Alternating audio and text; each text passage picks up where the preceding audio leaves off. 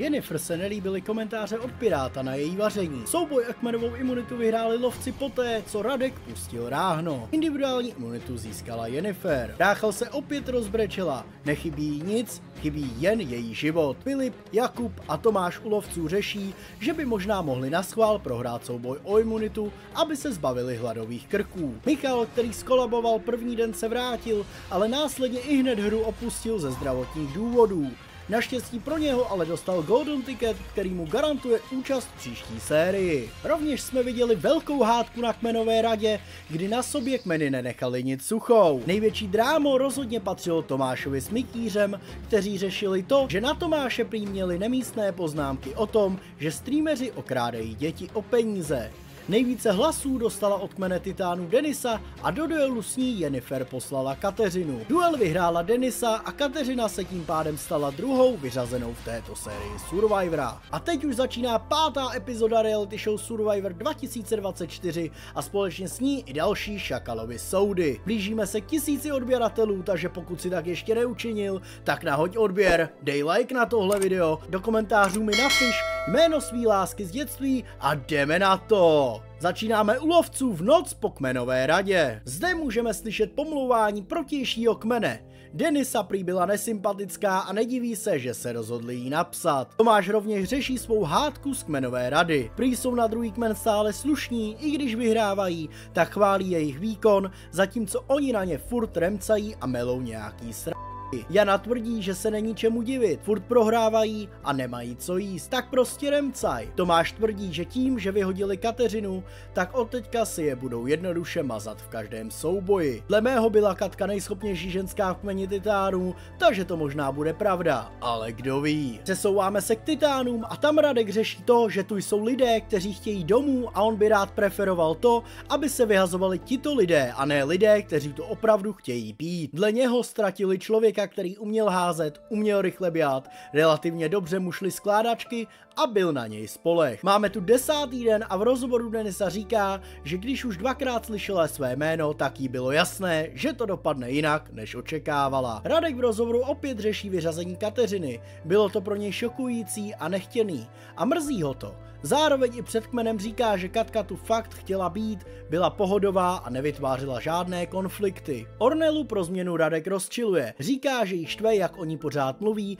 a jak byla platná, přitom oni dva přišli s absolutním spožděním a vůbec nic nezažili. Tady bych si dovolil takovou malinkou poznámku od redakce, tedy ode mě. Kateřina s Radkem přišli sice později než ostatní, ale doslova se jednalo o tři dny. Ornela to tu prezentuje, jak kdyby tam přišli po měsíci, takže tenhle její blept úplně mimo. U lovců Ráchel říká Filipovi, že si Denisa nemá co dovolovat a že se ukázala karma. V rozhovoru tvrdí, že Titány je to, že neustále prohrávají. To ale není jejich chyba, ale chyba Titánů, protože mají neustále špatnou strategii při soubojích. Tomáš tvrdí, že to jsou totální amatéři a Bandůrko v rozhovoru říká, že zatím Titáni neudělali jediný moudrý krok a od začátku jedou úplně zle. Prý to byla úplná blbost, ale v roli diváka si to moc užívá. Je to záživné a už se nemůže nemůže dočkat, jak dopadl duel. Nikola zase říká, že vůbec neví, zda Titáni vědí, jak se Survivor hraje. A zpět k Titánu. Mikýř tvrdí, že tušil, že ho budou chtít psát, ale nevěřil tomu. Další poznámka ode mě pro vás. Mikýř na kmenovce dostal druhý největší počet hlasů. Pouze jeden hlas navíc dostala Denisa. Pirát Mikýřovi říká, že to nechápal a nikdo je překvapil. Že napsal Radka. Radka mimochodem napsala Jennifer. Pro Mikýře je to zklamání, protože když on měl imunitu, tak do duelu neposlal Ornelu a teď to vypadá, že to právě ona byla jedna z těch, co ho napsali. Zároveň se směje tomu, že jeho strategie byla úplně primitivní. Zkrátka chtěl udržet silné hráče, vyřazovat slabé kusy a mít schopný kmen. S Pirátem se shodnou na tom, že Ornella vydává dva různé signály. Jeden říká, že chce domů a druhý, že tu chce být. A proto jsou zmatení. V rozhovoru ještě Michýř říká, že první týden to tu bral jako vtip. Věří, že se k tomu dá navrátit, ale zároveň neví, co teď zvolit za strategii zda nějak taktizovat, anebo si to projít sportovní cestou. Pirát říká, že mu začíná hodně vadit Jennifer. Rozehrála to na všechny strany. Viděl jí si podat ruku už asi se třema lidma a to se mu nelíbí. Sebastian, Marty a Mikýř spolu rovněž řeší kmenovou radu. Nechápou, proč se Martin a Denisa rozhodli hlasovat pro Mikýře. Prý je to viditelně proti filozofii silného kmene a zároveň je teď v kmeni hustá atmosféra. Sebastian doufá, že si z tohohle vemou po naučení, ale Mikýř říká, že vůbec a že se hra prostě rozjela. Kluci si podali ruce a mají v plánu si to tady spolu užít. A jde se na souboj o odměnu. A jako vždy nás předtím čeká malé vyspovídání kmenu od našeho moderátora. Ten se ptá Denisy, jaký byl návrat do kmene, který ji poslal do duelu. Lidi, kteří při ní stáli, tak ty jí prý přijali hned. Těm ostatním to trvalo díl, ale je to hra a jedeme dál. Jennifer se moderátor ptá, zda se něco změnilo a zda mají třeba jiné skupinky. Jenny odpovídá, že samozřejmě tam nějaká změna je a jak čelí těm změnám, tak to každý vnímá trochu jinak a každý bojuje se svojí vlastní náladou. U lovců se moderátor ptá Jany, co říká na to, že chybí právě Kateřina.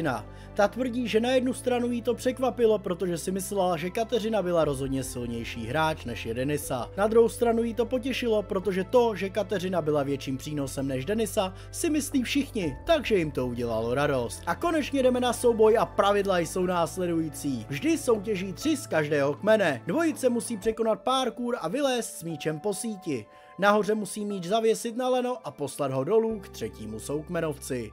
Jakmile míč pošlou oba, tak třetí s míči vybíhá, překonává další parkour a následně musí tři míče správně umístit do třech košíků.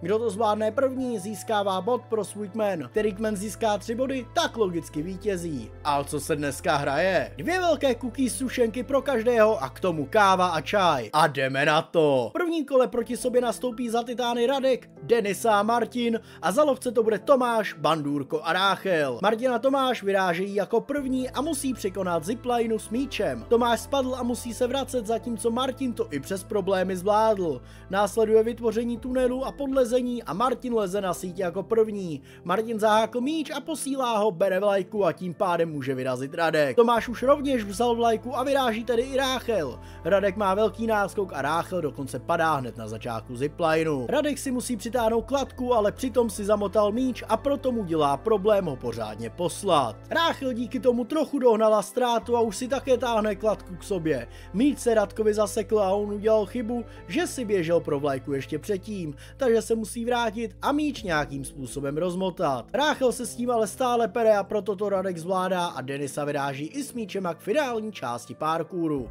Denisa už překonala i překážku a jde razvazovat míče.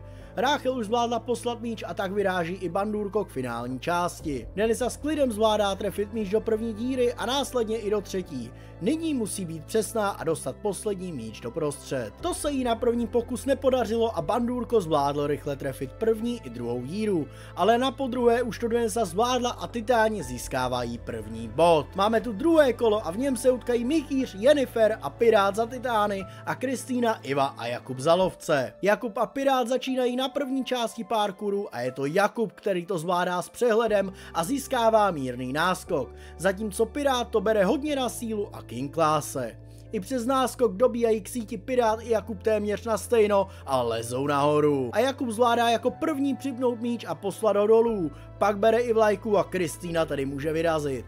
Pirát už rovněž vzal vlajku a vyráží Mikýř. Kristýna přebíhá přes ziplineu naprosto s přehledem, zatímco Mikýř padá a musí to opakovat. Kristýna je suverénně nejrychlejší ze všech a už táhne kladku k sobě. Mikýř už rovněž došplal nahoru a táhne kladku. Kristýna posílá balón dolů a Iva může vyrazit na finální část parkouru. Mikýřovi se to rovněž podařilo, ale míč jížděl dost pomalu a Jennifer tedy vyráží s menším spožděním. Iva má velký náskok a trefuje prostřední koš. Poté se ale dvakrát netrefuje a proto si vždy musí pro balon doběhnout zpět. Jennifer ale ještě stále vůbec nedorazila k finální části. Iva zvládá trefit třetí koš a to už dorazila i Jenny, která trefuje první. Tady se ale ztráta času ukázala a je to Iva, která trefuje poslední koš a získává bod pro lovce. Kore je 1-1 a v dalším kole uvidíme Martyho, Ivanu a Sebastiana za Titány a Janu, Filipa a Veroniku za lovce. Jana a Marty vyráží na první část parkouru a je to Jana, která zvládá ziplineu překonat lépe a získává náskok. Marty ale zvládl Janu dohnat na síti a oba posílají míče téměř na stejno. Pak berou i vlajku a může tedy vyrazit Ivana a Veronika. Na začátku to obě zvládají na stejno, ale Ivana padá na síti a proto je nahoře první Veronika. Nejvyrovnanější souboj této soutěže. Veronika posílá míč o vteřinku dříve, hned po ní už poslala míč Ivana a tím pádem mohou Filip a Sebastian vyrazit na finální část. Filip se ale hodně motá při přechodu přes balóny, zatímco Sebastian to přeběhl jako blesk a tím pádem je u rozvazování míčů jako první. Sebastian i Filip trefují dva koše téměř na stejno a tohle bude velice těsné. A oba trefují i poslední míč a oba týmy se začínají radovat. Tohle bylo takřka na stejno a komu padne tento bod musí rozhodnout zpomalený záběr. A ten odhalil, že to byl Filipův míč, který dopadl na dno koše jako první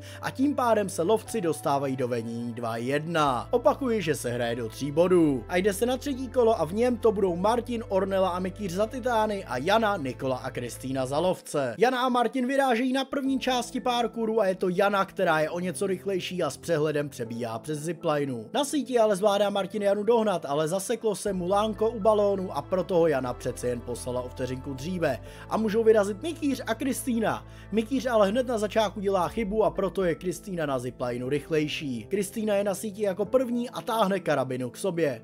Mikýř už také vyběhl na síť a to už Kristýna posílá míč a Nikola tady může vyběhnout na finální část. Ztráta přibližně 10 vteřin a Ornela už může rovněž běžet. Nikola ale zvládá trefit všechny tři míče s naprostým přehledem, Ornela ani nestihla vyndat své míče ze sítě a lovci získávají třetí bod a tím pádem i vítězství a obměnu v podobě cookie sušenek, kávy a čaje. Lovci se radují a jde se na klasické rozhovory po soutěži. Sebastian říká, že tahle hra je hodně o detailech. On moc neumí prohrávat, ale hold se musí poučit. Rozhodující je pro ně vyhrát souboj o kmenovou imunitu. Kristýna u lovců je samozřejmě ze sladkého nadšená a Jack básní o kávě od prvního dne a proto křičí díky bohu kafe! Ondra nám rovněž sděluje zprávu, že počasí se uklidnilo a kmeny se tedy mohou vrátit na své ostrovy. Jako první vidíme lovce, kteří zjistili, že i přes hurikán jejich přístřešek drží a následně se už můžou radovat ze své odměny. Nikola v medailonku říká, že je ráda, že vyhrála právě proti Ornele. Ta ji totiž označila za nejslabší hráčku a tak si nedovede představit, že by proti ní prohrála. Příbytek s kávou a čajem a přesouváme se k titánům. I jejich přístřešek to naštěstí přežil. Piráci je neřeší, že už skoro nemají energii, jelikož jsou to právě lovci, kteří vyhrávají většinu soutěží o odměnu. Pirát tvrdí, že už je to znát i na výkonech a i například Mikýř začíná dělat chyby. Situaci s jídlem samozřejmě řeší celý kmen a domlouvají se, co budou jíst. Jediný Radek v medailonku vypadá, že to zvládá v pohodě a říká, že vždy může být hůř. A jdeme zpět k lovcům a vrneme se na další drama letošního Survivoru a i dnes v něm bude figurovat Jack. Jack totiž všem rozléval kávu, ale bohužel popletl termosky a spojil dohromady kávu s čajem. Ten řetízek jsem dal omylem do jiného hrníčku. Nejvtipnější na tom je, že všichni vypadají, že jsou s tím docela smíření, ale Jack ne a okamžitě se začne rozčilovat. Medailonku tvrdí, že všichni okamžitě začali nadávat. Jacku, to neumíš nalévat kafe a bla bla bla bla. Ráchel říká, že Jack vždy, když udělá chybu, tak kouká pouze na sebe a snaží se najít chybu na druhém člověku, aby mohl něčím argumentovat. Prý se ho vždy snažila zastávat, ale teď už jí to vadí. Následně se Jack baví s Ráchel a rozčiluje se, že má zkaženou náladu a že on měl pouze jedno kafe, zatímco všichni ostatní ho měli už dvakrát. Jack v rozčílení dokonce vylevá svou kávu a říká, že jakmile on udělá chybu, tak je to strašný, ale jakmile ji udělá někdo jiný, tak všichni drží hubu. Do debaty se vměšuje i Jakub, který se Jackovi snaží vysvětlit, že se nic neděje, ale Jack si stojí za svým a stále se rozčiluje. U Titánů se řeší minulá kmenová rada. Denisa říká Martinovi, že nečekala, že Jenny jí bodne kudlu dozad. Jenny pro změnu v medailonku tvrdí, že ona není ta svině a to Denisa si s ní hrála celou dobu. Sebastian říká, že Martin měl pocit, že mu začíná tec do bod, jelikož ví, že čtyřka Sebastian, Michýř, Pirát a Marty spolu pevně drží a proto večer před kmenovkou začal kolaborovat a i si vymýšlel věci, které nejsou pravda. Martin říká, že měl vizi o tom, že si najde spojenectví a projdou touhle hrou spolu. Bohužel se včera ukázalo, ukázalo, že tato vize bude o dost těžší, než si myslel. Jenny Sebastianovi říká, že Denise nevěří od začátku, že se vždy připojí tam, kam se jí to hodí. Sebastián si myslí, že Denisa doplatila na to, že věřila Martinovi, který tu vymýšlí různé plány. A teď se koukneme na pláž za Ivanou, která našla jakýsi vzkaz. Nechá si to pro sebe? Začne konečně taktika? Ne! Ivana okamžitě všem řekne, že má tento papírek a dokonce ho všem přečte. Holy Jesus. Gratulace, tleskám, posílám klíčenku. Jedná se o nápovědu ke skryté imunitě. Prvně se ale musí vyřešit hádanka. Ivana řekne, že uvidí, s kým se o hádanku podělí. Denise je jasné, že ona ani Martin určitě nedostanou možnost se na hádanku podívat. Ivana říká, že hádanku bude určitě řešit s Mikýřem a s někým jiným. A jdeme k lovcům a tam úplně stejnou nápovědu nachází Bandurko. A Bandurko samozřejmě neběží a neříká to všem okolo, protože on chápe, co je to Survivor. Dokonce ji vyluštil tuto hádanku. Slova v ní zní, jdi s hlavou styčenou, strop ukrývá to, co hledáš. V noci u Titánu kluci řeší to, že doma bereš rodinu jako samozřejmost, ale tady, když na ně myslíš, tak je to zkrátka jiné. Do této dojemné chvíle se přidává i Pirát, Marty se ho ptá, zda i on si tu něco uvědomil. Pirát odpovídá, že ano, uvědomil si, že má fakt rád stejky. U lovců se v noci pouze vyřešila situace se smíchanou kávou a čajem, kdy všichni říkají, že chyby dělají všichni a Jack si z toho nemá nic dělat. Je tu 12. den a můžeme vidět Ivanu, která hledá skrytou imunitu. I oni už totiž s Mikýřem vyluštili hádanku. Tou nejdůležitější věcí je ale určitě v tuto chvíli Ornella. Ta vůbec nevypadá dobře a říká, že v noci se jí udělalo hrozně špatně. Pouze poslepu zvládla namatat Martina a poprosit ho, aby ji zavedl k doktorce. Pak už si nic nepamatuje, jelikož spadla na zem a omdlela. A Mikýř našel skrytou imunitu, dámy a pánové. A Mikýř si ji překvapivě nenechává pro sebe a dává ji před celým kmenem Ivaně. Možná si říkáte, že je to blbec a proč to udělal, ale dle mého to byl úžasný taktický krok, jak si získat Ivanu na svou stranu. A to se samozřejmě potvrdilo i v medailonku, kde Ivana říká, že kdyby se něco stalo a ona třeba musela odejít, tak svou imunitu dá právě Mikýřovi. A jde se na další souboj odměnu a tentokrát žádné zdržování, jdeme rovnou na pravidla. Šest lidí odstartuje a postupně přejdou první část parkouru, kde budou mít za úkol pozbírat kostky na domino, které bude dvojice na konci poskládávat. Domino musí správně spadnout a posléze tím odhalí trojici čísel. Tato čísla musí dvojice správně zadat na zámek a tím otevřít truhlu té se nachází mačeta. Tou přeříznou lano, které drží kýbl s bahnem, který spadne na jednoho člena z poraženého kmene. Za titány bude pod kýblem s bahnem stát Jennifer, za lovce to bude Iva. Rovněž si můžeme všimnout, že chybí Ornela. A o co se hraje? O velkou nálož klap sendvičů a k tomu ještě brambůrky. Odměna vypadá skvěle, tak jdeme na to. A tentokrát žádné velké okecávání. Mikýř a Kristýna vyráží jako první a tenhle souboj je naprosto vyrovnaný. Kristýna je dle mého mimochodem určitě nejschopnější ženská letošního Survivoru. Oba berou domino kostku a vrhají se do bahna. Kristýna dobíhá o vteřinku rychleji a může běžet Veronika a po ní i Sebastián.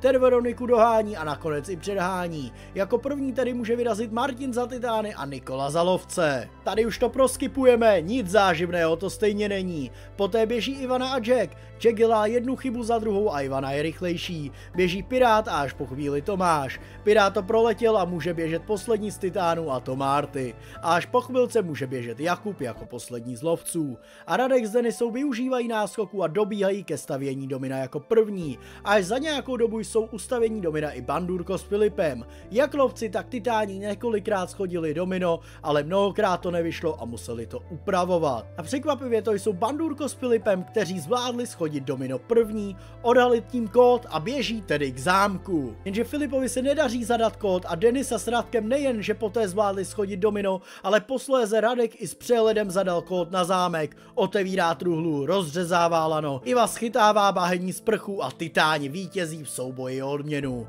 Titáni jsou nadšení a konečně po několika dnech vyhrávají pořádnou odměnu v podobě klap sandvičů a chipsů. V rozhovorech není nic převratného a proto si vychutnejte pohled na kmen titánů, který baštějí sandviče. Spokojený? Super, tak jdeme dál. Jana Ulovců říká, že se ukázalo chlapský ego. Chlapi u nich chtějí uzavírat soutěže, ale jí bylo jasné a i navrhovala, že na tuhle soutěž a hlavně na její závěr se zámkem byly třeba holčičí jemný ruce. Bandurko pro změnu řeší řeší Jacka, který v každé soutěži říká, jak teď je to jeho a do všeho se hrne, ale nakonec je tam viditelně nejhorší. Kristýna zase říká, že Jack vše kazí a pak se ještě cítí dotčeně a vymýšlí si, že proti němu něco mají. U Titánu Iva ukazuje Mikýřovi imunitu a dozvídají se, že se jedná pouze o půlku. Tu druhou má mimochodem Pirát. Právě s Pirátem Ivana mluví a on jí o své druhé polovině říká. Ivana mu potvrzuje to, co už řekla a to to, že kdyby náhodou vypadla, tak svou půlku daruje Mikýřovi. Pirát říká, že celou dobu čekal, jak budou karty rozdané. Teď už to ví a proto se o své polovině imunity svěřuje Mikýřovi a následně i Sebastiánovi. A jdeme opět k lovcům a to hezky k ohníčku. Tam se opět řeší Jack a jeho dnešní výkon. Jana mu říká, že prohrál proti Ivaně, což je ostuda.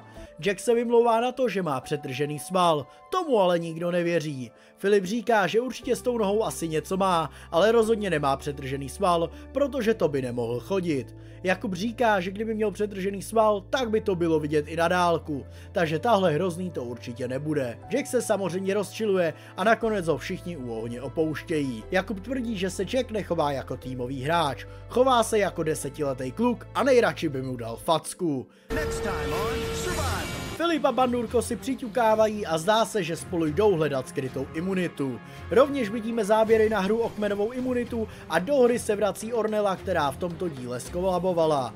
A to je všechno lidi, pokud jste vydrželi až sem, tak vám samozřejmě moc děkuju. Nezapomeňte mi nahodit odběr, dát like na tohle video a uvidíme se zase příště. Zdar!